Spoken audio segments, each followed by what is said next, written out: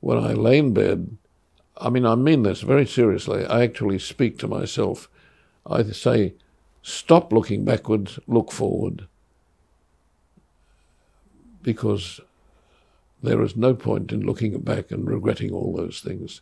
So I say to myself, look forward. What I really mean is that get off your backside and go into the studio tomorrow and do some work. Look forward, don't look back. My name is Guy Warren, Guy Wilkie Warren, if you want the full name. I am 101 years old and I was born in the city of Goulburn in 1921. I have extraordinarily good, like most old people, I think, long term memory. I can remember being in Goulburn as a child. I can remember being in a pram in the main street of Goulburn. I had one, two, three, four, one, two, three, four or five maiden aunts. And they were maiden because they never married. And they never married because all the young men in Goulburn had been killed in the First World War. And the story I heard was that all the Goulburn boys were in the boats that first went into Gallipoli. Whether that was true or not, I don't know. But what I have seen many times later, wandering through the bush, wandering through the country, driving around, I used to at one stage often stop at the local cemetery in any country town. And if you do, you find one name and six people with that same name. And they're all boys from the local farm. And one joined up, and then uh, the next one grew up a bit, and he joined up, and then six of them joined up. Appalling. My mother was born into a very large family in Goulburn, and when she was born, uh, there was something like eight kids, I think. I forget the number now, but I know that it was a, it was a big family. Um, and um, there was measles in the family. All the other kids had measles. And when the new baby arrived, obviously they didn't want to have the new baby in the house if there was measles there. So they gave the baby to an elderly aunt, uh, what would have been to me a great aunt, I think. Um, and they reared her they never gave the baby back. That's Auntie Fanny's house, and that's the house I was born in, in Goulburn. My mum with a violin in her hand by the look of it, and that's her playing piano. And she was uh, a very good singer. She learnt the piano, she learnt the violin, and she was good at all those things. And Dad was a pianist. So obviously, that's how they got together. Okay, well, that photograph is of the Empire Theatre in London, in uh, Goulburn, uh, where my old dad played the piano, and that's my dad. The cinemas in those days, of course, were like ex- extraordinary theatres. They were magnificent pieces of architecture, and razzmatazz. And he was the pianist, and in in, um, in the days of no talkies, um, when all the spoken words were written on the screen in front of you, there was no sound. Um, in order to have music, an appropriate music, there was always a pianist and usually a small orchestra. And Dad was such a pianist um, Mum was the violinist, and I know Dad had, when Mum no longer could do it or had kids to look after, he had a small group with him. You don't ask questions to your parents, which is a great shame. You don't know the questions to ask, of course. But we moved, we never owned a house. We moved every two years. And we moved into every suburb in Sydney. And in retrospect, I would guess it was because Dad had a two year contract with the cinema. I remember in primary school being very proud of the fact that I could point to the flyer which said playing at the local cinema was Leonard Warren and his whatever they were called, and saying, That's my dad. A big deal, poor dad. Uh, talkies came in, of course, exactly in the depth of the Depression, so he got a double whammy. Uh, he got he lost his job because the talkies came in, and it was right in the depth of the Depression. Poor devils. They really struggled after that. Yeah, we've been lucky. I've been lucky. They were tough times. One in five people were out of work. Um, my memory of the Depression is of lines of out of work blokes on every street corner in Sydney, particularly musicians, who are the first people to feel the the rigors of um, being out of work. Uh, nobody wants to um, pay a musician. Um, my memory of Sydney is of a muso on every street corner busking for a living, and on the rocks around the eastern suburbs of Sydney, I have a clear memory of out of work fellows who were who'd saved a bit of timber that had washed ashore on the rocks and had built uh, huts. Somehow they must have made them waterproof. They certainly couldn't have made them warm. I had to leave school at 14 to raise a bit of, to earn a little bit of money to help them, I guess.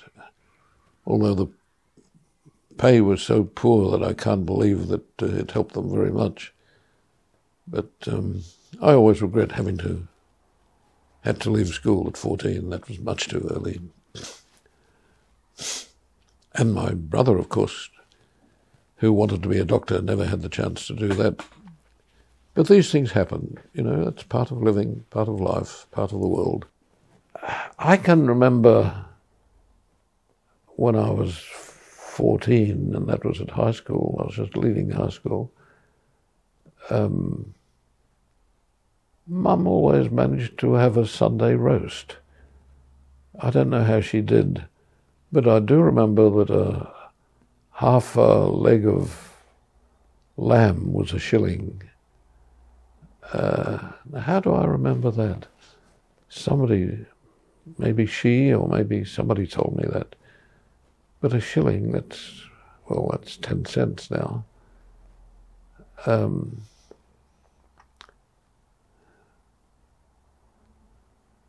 I can remember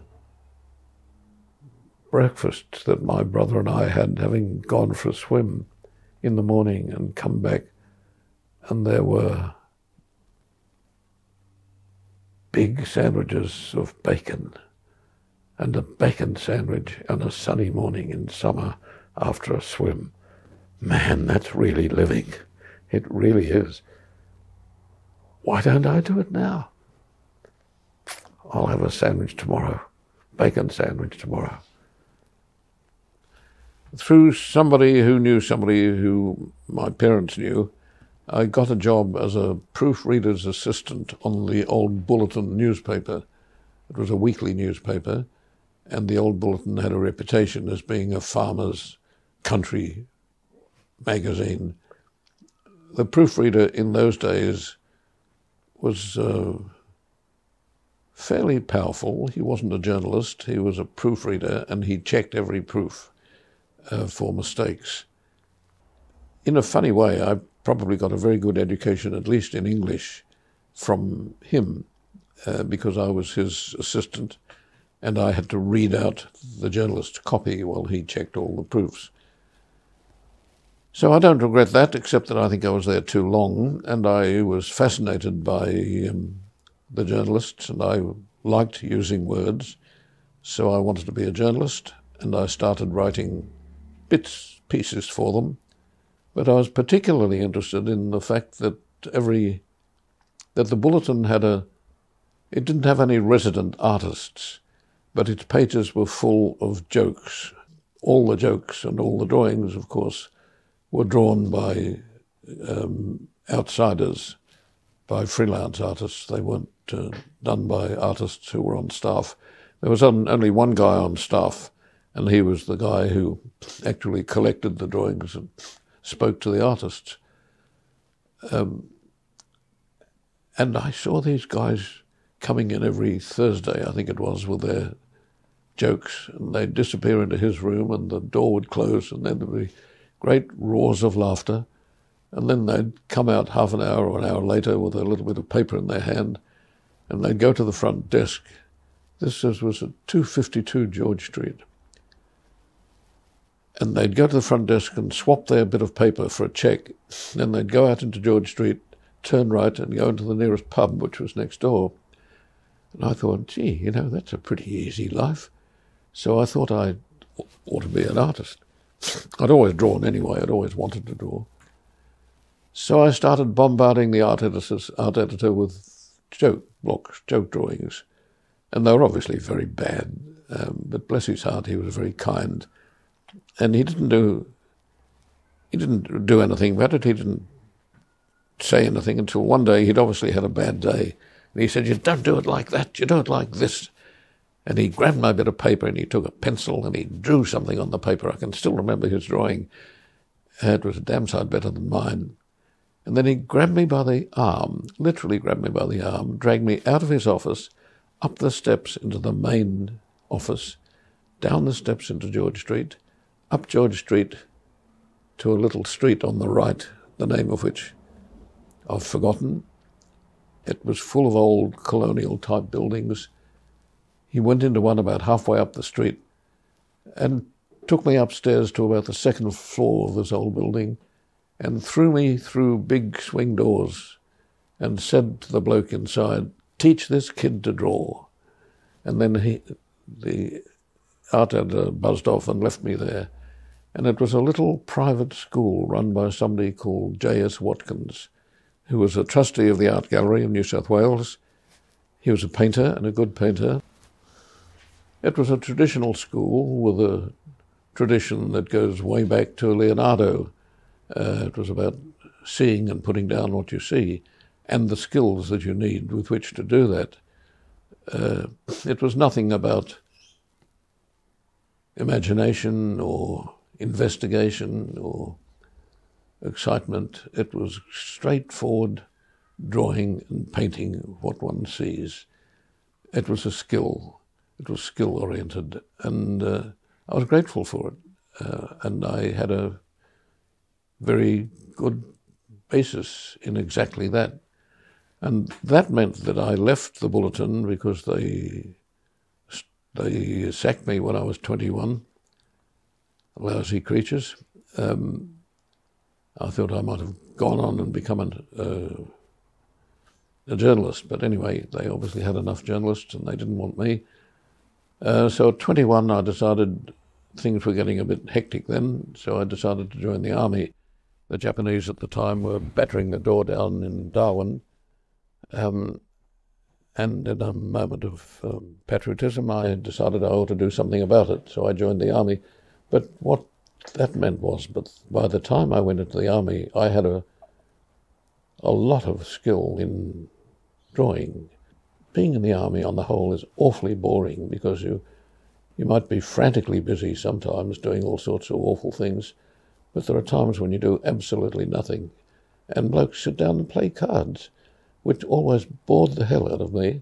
But I could draw them playing cards, and I could draw them anyway. I remember I used to draw all my mates. In fact, I think at one stage in New Guinea, I used to charge them for for drawing them, which was a, showed a degree of of acumen that I've don't seem to have followed since, sadly. But um, it was fun. And by sheer chance, I didn't get it out for you. On my table here in front of me is an old sketchbook which has on it Bougainville Sketchbook, 1940s.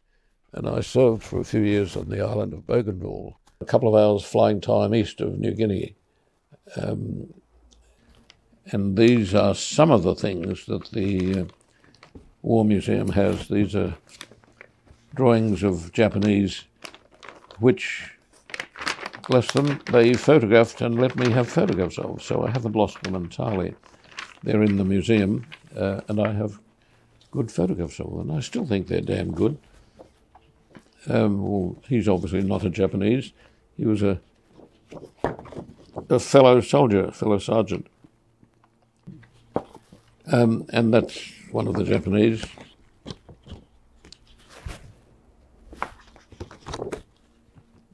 Um, they've all written their names on them. I asked them to do that. How I did that, I can't imagine. I guess by sign language. But I've had them translated since, and they are indeed proper names, which intrigues me because in a similar, in an opposite situation, an Australian prisoner of war would have written Ned Kelly. But these guys wrote their proper names. They're much more disciplined than our lot. Oh, I won't go through it all. A lot of landscapes and a lot of, lot of local indigenous people. And I was uh, always intrigued by the way they decorated themselves, not only their tribal decorations, but if you gave them anything, they would put it in their hair or in their lap lap, or they would. It became somehow part of their body. And I quote one particular time when drawing a big black guy and the guys in Bougainville are very, very, very black. They're the blackest in the South Pacific. And I had I used to pay them with cigarettes or tobacco or something like that, and I had nothing to with which to pay him. So I uh, I went into my tent and found a tin of talcum powder, a pretty unlikely thing to have, but the Comfort Fund had sent up tins of talcum powder because they thought it would help skin disease. I don't think anybody ever used it but um, anyway, I found a tin in my tent, so I took it out and gave it to him. He immediately opened it, poured it into his hand, and made these wonderful great marks, white marks, on his big black body. And I thought, wow, only an artist would do that. That's great. Um, anyway, that image has stayed with me ever since. And there was another related incident which added to that which happened, oh, 10, 15 years later, um, after I'd come back to Australia, I did a a course at the National Art School, which was then called East Sydney Technical College, um, and that was an art course. And then I married, and my wife and I went to London looking for a job. um, and I got a job, and so did so did she in those days. And we uh, we had a little flat uh, just out of London, and uh, this was the early days of television. And I we had a little black and white television set, and I saw a documentary by some person who'd been in New Guinea, in the highlands of New Guinea, uh, at Mount Hagen, where there was an annual, or there was in those days, an annual dance festival and dancers come from all over the South Pacific, from all the islands, and they dress themselves the most outrageous clothes, uh, but it's all local material. They use feathers, um, plants, um, anything you can think of, mud, anything at all, uh, which become fancy dress, if you like, dance dress. Um, and the thought suddenly occurred to me that what these guys are doing is not just dancing, but by using all this material, which is local indigenous material, what they have around them, what they're really doing is making a statement about belonging to their land, not somebody else's land, their own land. And I thought, gee, I'd like to have some of those photographs. So I wrote to the BBC and said something like, I'm an Australian artist living in London, drawing my memories of New Guinea, painting my memories of New Guinea. And whoever got the letter probably thought, well, here's an idiot, you know, who would want to paint New Guinea from London? So he may have passed the letter around for all I know. Anyway, uh, about a week later, I got a phone call from somebody, and uh, he said he was from the BBC and he thought he might be able to help me. He said he did have some photographs from the documentary that I'd been looking at, but he uh, wouldn't sell them to me as I wanted him to. He said he'd lend them to me. But he introduced himself over the phone and he said his name was David Attenborough and would I like to come around for a drink? Well, David wasn't well known in those days. Uh, he was just a bloke from the BBC with a name, as far as I was concerned. So my wife and I went round for a drink. it's odd, isn't it, the little things that one remembers. Totally, totally, utterly insignificant things. Why the devil should one remember them? Because we sat down in his lounge room and he said, What would you like to drink? And my wife said she'd have a gin and tonic, and I said, I'll have a whiskey. And so he poured me a small whiskey, and he said, What do you like in it? Meaning, you know, water or soda or whatever. And I said, Well, actually, I prefer it neat. And then he looked at me and he said, Oh, oh well, you better have more than that. And he went, I mean, why should I remember that? Um, I still keep in touch, in touch with David very occasionally, and he sent me a note for my 100th birthday, which was a great thrill, bless him. Well, springing from those two connections with land, first of all, with that connection with the fellow in Bougainville, and secondly, after talking to and listening to David, not only when I met him, but subsequently all his all, all his programs, um, and also a better understanding of our own Aboriginal attitude towards land, our own Indigenous people's attitude towards land. I it's maybe it's a romantic idea. I don't care. I like the idea anyway. I like the idea of us belonging to the land, belonging to the universe, um, not owning it for God's sake.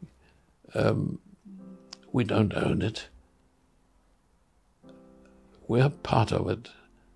And what I frequently do is to inhabit my landscapes with figures which don't necessarily have to look as though they're in the painting to give it scale or to give it interest, but looking as though they're as real and as insignificant as a tree beside them as though they're part of whatever it is they're in. If you're in a thick rainforest, you are there and that's it. It does take over you. You are part of it. And the, the vines of the, li- the lianas that wind their way through it and around you and everywhere, you're, you're captured by it. You are part of it. Um, Anyway, it's like the, the, the lines, the lianas are like three dimensional drawings, just weaving through space.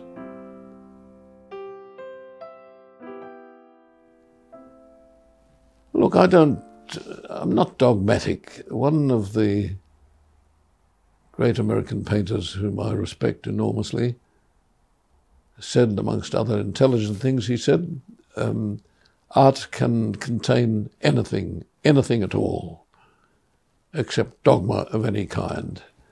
So I don't want to be dogmatic, and I do do other things. I don't always follow my own rule. Um, uh, there are no rules to this crazy game.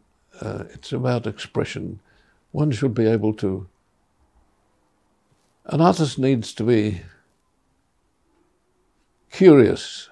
We all need to be curious. We ought to ask questions. Is there a better way of doing this? Why can't I do it this way? Who says I can't do it that way? Uh, one should be capable of doing, painting anything one wants to.